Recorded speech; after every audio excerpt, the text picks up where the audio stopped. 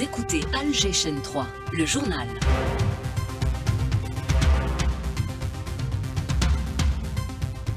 Bonsoir à tous. Sommet de l'OCI de Banjul en Gambie, le président de la République Abdelmajid Tebboune met en avant le génocide auquel est exposé le peuple palestinien et que lui inflige l'entité sioniste. Il déplore l'impuissance des instances internationales, à leur tête le Conseil onusien des droits de l'homme, pour exécuter les décisions légitimes. Le message du chef de l'État aux travaux est élu par son représentant, le Premier ministre Nader Arbaoui. L'Algérie demande une réunion de consultation à huis clos mardi prochain du Conseil de sécurité de l'ONU consacrée aux charniers découverts dans la bande de Raza à la suite du retrait de l'armée d'occupation de certaines zones. Et alors qu'un accord de cessez-le-feu pourrait être signé dans les prochaines heures sous réserve de trouver une formule consensuelle, l'occupant israélien brandit de nouveau la menace d'une large offensive terrestre sur Rafah, lieu de refuge de Palestiniens poussés à l'exode. Plus de 250 investisseurs africains étrangers ont pris part à la dixième euh, édition du Forum africain de l'investissement, un forum dédié aux opportunités et au potentiel commercial du continent africain, une occasion pour démontrer la compétitivité des entreprises algériennes en Afrique. Euh, le président de la République a été euh, en marge honoré par le Centre arabe africain de l'investissement et du développement pour ses efforts en faveur du développement économique et du renforcement de la coopération africaine. Politique riche activité en cette fin de week-end, en prévision des élections anticipées du 7 septembre. Le Front des Voix socialistes tranchera la question de sa participation présidentielle les 24 et 25 mai prochains. Nous ferons le point dans ce journal. Des journalistes qui ont contribué par leurs œuvres dramatiques à la promotion de la liberté d'expression et de la création ont été distingués aujourd'hui au niveau du siège de la radio algérienne lors d'une cérémonie organisée à l'occasion de la Journée mondiale de la liberté de la presse en présence du conseiller du président de la République chargé de la Direction générale de la communication Kamal Sidi Saïd. Les pays de l'OMS planchent sur un projet d'accord international portant prévention et lutte contre les futures pandémies. Les négociations marathon entamées lundi dernier se poursuivent à Genève. Sport judo grand de Douchambe au, Tadjikistan.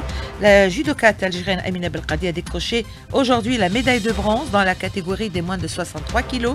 Dans le combat pour la médaille de bronze, Amina Belkadi a battu l'Espagnole Cabana Cristina Pérez, 27e au ranking mondial.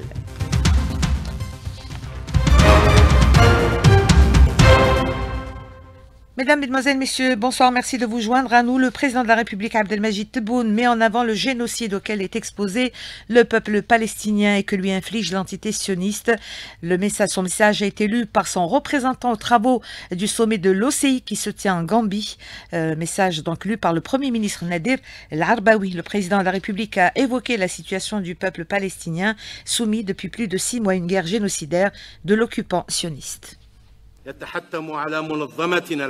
Notre organisation doit travailler étroitement au niveau international pour soutenir la lutte du peuple palestinien pour libérer ses terres occupées et obtenir ses droits légitimes à établir son État indépendant avec Al-Quds comme capitale. Cela nécessite une approche plus déterminée et résolue pour pousser la communauté internationale à assumer pleinement ses responsabilités et fournir la protection nécessaire au peuple palestinien et mettre fin également aux actes criminels, aux assassinats délibérés et aux atrocités massive perpétrée contre les civils palestiniens innocents dans toutes les terres occupées. Fidèle à ses positions, l'Algérie réitère depuis Banjul en Gambie, qu'abrite donc le sommet de l'OCI, son appel à mettre un terme à l'agression sioniste à Gaza.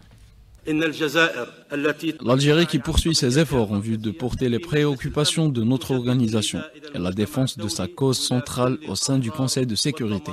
Réitère son appel à la communauté internationale et à toutes les consciences libres dans le monde pour que chacun assume ses responsabilités à mettre fin à cette tragédie humaine à travers la mise en place d'un cessez-le-feu permanent sans condition et mettre fin à l'agression perpétrée à l'encontre du peuple palestinien, permettre l'entrée des aides humanitaires à Gaza à redoubler les efforts pour garantir l'application urgente des résolutions du Conseil de sécurité, notamment la résolution 2728.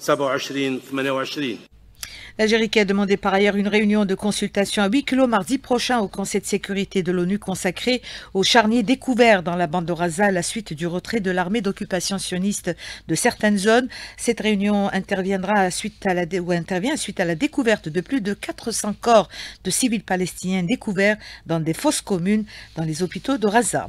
Et après des mois de tractation, un accord de cessez-le-feu pourrait être signé ces prochaines heures, en tout cas sous réserve de trouver une formule consensuelle sur la plupart des points de désaccord provoqués euh, par euh, l'occupant israélien qui rejette en bloc les conditions de la résistance palestinienne qui porte sur un cessez-le-feu définitif avec le retrait des forces d'occupation de la bande de Raza et surtout un arrangement sérieux pour l'échange des prisonniers de guerre détenus à Raza contre les prisonniers palestiniens. Hassan Aboussita, le recteur de l'université de Glasgow, est un chirurgien renommé d'origine palestinienne, affirme avoir euh, été refusé d'entrer en France où il devait prononcer un discours devant le Après avoir passé des semaines à Raza. La forteresse euh, Europe réduit au silence les témoins du génocide, a-t-il exprimé sur son compte X. Le décompte des médecins tués par les forces israéliennes dans la bande de Raza se poursuit. La commission des prisonniers de Raza a annoncé l'assassinat du docteur Adnan Ahmed Al-Bourch, chef du département d'orthopédie à l'hôpital Shifa. L'entité sioniste poursuit son extermination de l'élite de la société palestinienne, comme le souligne Akarima Hasnaoui, Ronnie Broman, membre de Médecins sans frontières. Je suis euh, consterné, c'est malheureusement un de plus dans une longue suite de tueries de personnel de, de l'UNRWA, de personnel des services de santé, des attaques contre les journalistes, les policiers, ce qui constitue euh, les uns à côté des autres et les uns avec les autres une société. C'est la société palestinienne qui est en train d'être euh, détruite méthodiquement par cette guerre israélienne. C'est absolument épouvantable et la mort de ce chirurgien, évidemment, elle a symboliquement plus de valeur encore, même si c'est un être humain comme d'autres, et du fait des services qu'il rendait à la population en tant que médecin, en tant que chirurgien. J'avoue que j'ai perdu le compte des personnels de santé qui ont été tués. Et alors, euh, nous vous le disions qu'un accord de cessez-le-feu pourrait être signé dans les prochaines heures. L'occupant israélien brandit de nouveau la menace d'une offensive d'une large envergure sur Rafah, dernier refuge des Palestiniens, poussé depuis plus de six mois à l'exode du nord de la bande de Gaza. Cette menace sera mise à exécution selon les médias américains si aucun accord n'est conclu au bout d'une semaine. Euh, l'entité sioniste joue cette carte pour saboter un possible accord de trêve et permettre ainsi à Netanyahou de se maintenir au pouvoir. Décryptage de Dimitri Diliani, membre du Conseil révolutionnaire du mouvement de résistance palestinien Fatah. Il est contacté par Karim Hasnaoui. L'occupant israélien tente à travers ses menaces d'une offensive terrestre sur Rafah, des menaces qu'il profère depuis quelques mois, tente de maintenir et d'augmenter les pressions. La résistance palestinienne a pourtant émis des propositions réalistes qui portent sur l'échange de prisonniers pour parvenir à un accord pour la fin de la guerre génocidaire d'Israël à Gaza. Mais l'occupant sioniste à sa tête Netanyahou et son cabinet de guerre fuient toute perspective d'accord car Netanyahou reste persuadé que la fin de la guerre génocidaire à Gaza est synonyme de sa propre déchéance. Intention d'intervenir rapidement à Rafah, loin de toute opposition européenne ou américaine. Ceci pour le dossier consacré à Raza. Plus de 250 investisseurs africains et étrangers ont pris part aujourd'hui à la dixième édition du Forum africain de l'investissement, un forum dédié aux opportunités et au potentiel commercial du continent africain.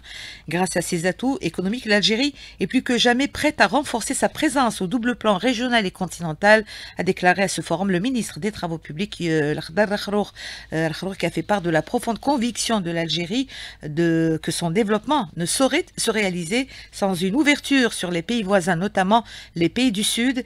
L'Algérie est parfaitement consciente du caractère stratégique des infrastructures régionales telles que la route transsaharienne avec son principal axe Alger-Lagos. On l'écoute.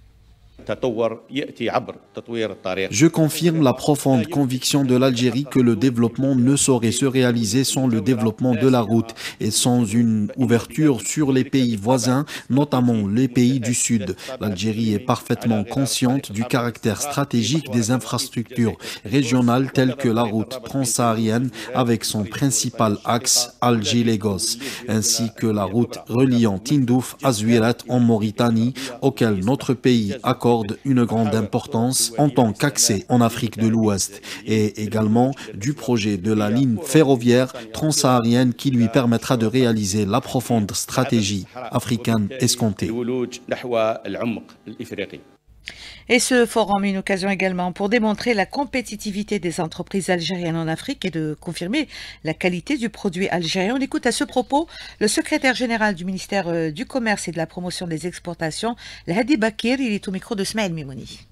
Ce forum vient à juste titre pour mettre en évidence ce qui a été fait déjà les trois dernières années en matière de développement des entreprises algériennes, notamment l'exportation des produits. Nous avons expliqué aussi que l'État, à travers l'ensemble des facilitations qui lui sont dédiées pour accompagner ces entreprises à l'international. Nous avons également vu la participation de plusieurs entreprises étrangères, africaines, à ce forum. De même, ils ont vérifié l'ensemble des potentialités qu'offrent les entreprises algériennes en matière d'exportation. Ça a été pour nous ici de fructifier des partenariats entre euh, ces entreprises, à l'export notamment, pour plus de développement de l'économie algérienne. Organisé par le Centre arabo-africain pour l'investissement et le commerce, le CAID, le forum a permis aux investisseurs africains et internationaux de se rencontrer et de signer des contrats de partenariat. Euh, Smaïl Mimouni. Un forum incontournable qui se veut une occasion pour présenter les opportunités et le potentiel commercial du continent africain. L'accord de la zone de libre-échange continentale africaine ZLECAF, une issue et un trait d'union pour augmenter de manière significative le volume des échanges commerciaux entre les pays africains. Amin Boutalbi, directeur général du Centre algéro-africain d'investissement et de développement. Le continent africain a enregistré aujourd'hui un pas très avancé en matière de renaissance et de construction, en particulier après la signature de l'accord dans la ZLECAF, la zone africaine de libre-échange, qui lèvera les obstacles sur le continent africain et en fera un marché prometteur, seule issue pour la croissance de l'économie mondiale. D'autant plus que les marchés mondiaux sont saturés d'investissements dans lesquels les taux de consommation ont atteint leurs limites. Les pays africains sont plus que jamais appelés à renforcer le travail commun dans le domaine commercial et d'unifier les objectifs économiques et d'aller vite vers plus de projets d'investissement. Mohamed Sayoud, consultant international en investissement. C'est un forum qui est existant depuis plusieurs années, donc ils ont une expérience. On a attiré le maximum d'Africains. Le potentiel existe. On doit savoir comment exploiter. C'est en fonction du temps. On doit activer maintenant pour ramener le maximum d'IDE pour produire pour le marché local et pour l'export. L'Algérie a franchi une étape très avancée concernant l'intégration du marché africain. Elle a rejoint très tôt l'accord de la ZLECAF et les produits algériens sont déjà exportés dans plusieurs pays en Afrique. À noter qu'en marge des travaux du Forum africain de l'investissement, le président de la République Abdelmajid Tebboune a été honoré par le Centre arabo-africain d'investissement et de développement pour ses efforts en faveur du développement économique et du renforcement de la coopération africaine. Politique, riche activité en cette fin de week-end en prévision des élections présidentielles anticipées du 7 septembre prochain. Entre réunions et meetings, les partis politiques se sont exprimés sur le prochain scrutin. Le FFS a tenu aujourd'hui une rencontre nationale. Le Front des forces socialistes tranchera la question de sa participation au présidentiel les 24 et 25 mai prochains. On écoute son premier secrétaire national, Youssef Aouchiche, propos recueillis par Sami Aloun. Le pays se prépare dans quatre mois à la tenue des élections présidentielles. Le Front des forces socialistes prendra sa décision finale lors de la réunion du Conseil national qui se tiendra le 24 et 25 mai prochain. La volonté du FFS est de participer à ces élections dans un climat de débat ouvert et libre, car ce rendez-vous important doit représenter pour le pays une occasion de se renforcer davantage en donnant plus de légitimité aux entreprises, tout en surmontant les défis qui entravent le développement développement socio-économique. Ce rendez-vous avec la nation constitue également une occasion pour ouvrir un débat national d'envergure pour contribuer à mettre en place les bases propices pour une Algérie plus souveraine, unie et prospère. Et depuis Eloued, le secrétaire général du RND a plaidé pour un consensus national autour d'un candidat rassembleur, Mustafa Yahi. Au sein du RND, nous estimons qu'il faut qu'il y ait un consensus politique autour d'un homme rassembleur qui conduira l'Algérie vers la prochaine étape dans le but de préserver l'Algérie et les acquis dont nous parlons tous et pour poursuivre les réformes engagées par le président de la République, Abdelmajid Tebboune. Le président du mouvement albina Abdelkader Bengrina a été pour sa part en déplacement au Mostaganem pour un regroupement régional des jeunes et étudiants de sa formation politique des wilayas de l'ouest du pays. Ces présidentielles sont la garantie, dit-il, des fruits du développement et de tous les autres acquis ainsi que de la résilience de l'Algérien face aux défis et aux risques et du soutien aux pays voisins dans la stabilité, a-t-il déclaré. Depuis Annaba, le président du Front al-Mustaqbal, Fatah Boutbig, a souligné qu'il incombait aux Algériens d'être à la hauteur du prochain scrutin en y participant massivement. Nous allons participer aux élections présidentielles. Il nous incombe à nous, Algériens, d'être à la hauteur et d'y participer massivement, comme il se doit. Le Front de Libération Nationale a organisé pour sa part aujourd'hui une rencontre régionale en présence du secrétaire général du parti à la Maison de la Culture de Tamanrasset. Des journalistes qui ont contribué par leurs œuvres, de, ou par leurs œuvres dramatiques, oui, à la promotion de la liberté d'expression et de création ont été distingués aujourd'hui au siège de la radio algérienne lors d'une cérémonie organisée à l'occasion de la Journée mondiale de la liberté de la presse en présence du conseiller du président de la République chargé de la direction générale de la communication, Kamel Sidi Saïd. Après avoir visité les sièges de la radio et de la télévision, Kamel Sidi Saïd a félicité la presse nationale à l'occasion de cette célébration. L'écoute. Je tiens à féliciter toute la presse nationale à l'occasion de la journée internationale de la liberté de la presse qui intervient alors que notre pays jouit de la liberté de la presse et de la liberté d'expression et de parole en concrétisation du 54e engagement du président de la République Abdelmajid Tebboune. L'espace des libertés seront, je le souhaite, élargis. Pour sa part, le directeur général de la radio algérienne, Mohamed Barali, a salué les efforts de l'État visant à renforcer le rôle et la place de l'information. Il a mis en exergue le soutien du président de la République grâce auquel la radio algérienne a pu présenter des programmes de qualité aux auditeurs algériens. Il a également félicité, il a également félicité les journalistes pour leurs efforts, les journalistes de la radio qui, a-t-il dit, contribuent chaque jour par leurs œuvres dramatiques à la promotion de la liberté d'information et de création. Le directeur général de la radio annonce à l'occasion la l'installation prochaine d'une commission chargée de la sélection et de la lecture des textes dramatiques destinés à la radio. Un mot sur l'examen du baccalauréat. L'opération d'élaboration des sujets a débuté hier après la mise en quarantaine de l'équipe en charge de la conception, de la lecture, de la surveillance et de l'impression des sujets, et ce pour une durée de 42 jours. Président le lancement de cette opération, le ministre de l'Éducation nationale, Abdelhakim Belabed, s'est félicité des qualités de cette équipe qui se distingue, a-t-il déclaré, par sa compétence et son intégrité. Les pays membres de l'OMS planchent actuellement sur le projet d'accord international portant sur la prévention et la lutte contre les futures pandémies. Des négociations marathon qui ont débuté euh, ce lundi dernier et qui se poursuivent dans l'espoir de trouver un compromis. Le patron de l'OMS invite les délégations à s'entendre pour le bien de tous. Amalazib. Tedros Ghebreyesus veut obtenir un accord avant au plus tard le 10 mai, date butoir pour parvenir à un texte prêt à être adopté par l'Assemblée annuelle des États membres de l'OMS et qui débute le 27 mai. En fait, le patron de l'OMS veut un texte contraignant qui sera fin prêt lorsque la prochaine catastrophe sanitaire frappera le monde. Les principaux différents tournent autour de l'équité dans l'accès aux vaccins et autres médicaments développés à partir de ces découvertes. Mohamed Nibouche, expert en affaires pharmaceutiques, explique les enjeux. L'OMS a déjà pris les devants en disant bon, ça s'arrête maintenant. Il faut qu'on trouve un consensus, une procédure, un traité international dans lequel tous les pays du monde s'engagent s'il y a une pandémie, un problème de santé majeur que tous les pays déclenchent le même procédé, processus de défense et de protection de leur population. Pour penser à cela, il faut qu'il y ait un principe important, c'est celui de l'équité, d'accès aux soins, d'accès aux moyens de traitement, d'accès euh, aux moyens de diagnostic, etc. Tous les pays du monde ne sont pas logés à la même enseigne. Il y a les pays les plus riches, les pays les, en développement et les pays les plus pauvres qui se trouvent en Asie, en Amérique du Sud et surtout en Asie. Pour cela, nous devons défendre le principe de l'équité internationale parce que tous sur Terre, nous avons les mêmes droits d'accès aux soins. Donnez-vous une raison d'être fier, à lancer Tedros Ghebreyesus à l'adresse des diplomates pour les pousser à un accord, donner au peuple du monde un avenir plus sûr. Un mot de sport avant de retrouver depuis Sétif Fatah Boumadi pour euh, les journées cinématographiques internationales. Judo avec le Grand Slam de Dushanbe au Tadjikistan. La judokate algérienne Amina Belkadi a décroché aujourd'hui la médaille de bronze dans la catégorie des moins de 63 kilos.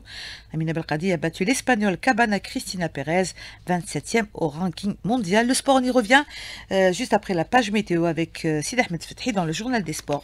Direction donc Sétif où se trouve notre collègue du service culturel Fatah Boumadi, Sétif avec la cérémonie d'ouverture officielle des journées cinématographiques internationales. Il s'agit de la cinquième édition. Fatah Boumadi, bonsoir. Oui, bonsoir Nassera. Alors la cérémonie d'ouverture de la cinquième édition des journées cinématographiques internationales de CETIP va débuter dans quelques instants. Tout est en place et enfin prêt. Nous attendons euh, les artistes qui vont défiler sur le tapis rouge. Et ce qu'il faut savoir euh, de cette cinquième édition, c'est qu'elle connaît la participation de plusieurs artistes nationaux et internationaux. C'est 21 films qui vont être projetés durant ces quatre jours de festival entre long et court métrage toujours algériens et étrangers. Et je précise également que 10 films sont en compétition. Ils seront projetés tout au long du festival, une compétition présidée par le réalisateur algérien Jafar Gassem. Notons aussi qu'en marge des projections, euh, plusieurs ateliers sont proposés, ateliers d'écriture de scénario, en réalisation, en prise de son et bien d'autres. Euh, cette ouverture officielle va être marquée également par la projection du film Priya de Hajar Bata, et sur place, on constate l'engouement des cinéphiles et ils ont hâte de découvrir les films programmés. Voilà tout, Nasser. Merci beaucoup Fatah Boumahdi. C'est la fin de ce journal à 19h21 minutes. Merci à toute l'équipe qui m'a accompagné, à Fatah Mouror qui était à la réalisation, Samir Hamoudi à la technique, Hussein à la régie. Merci aussi à Monique qui était au streaming vidéo. Tout de suite la météo avec Amin Mounir. L'info revient à 20h. Ce sera avec Kalimoni pour le premier flash de la soirée. J'aurai quant à moi le plaisir, je l'espère, de vous retrouver jeudi prochain. Merci de nous rester fidèles.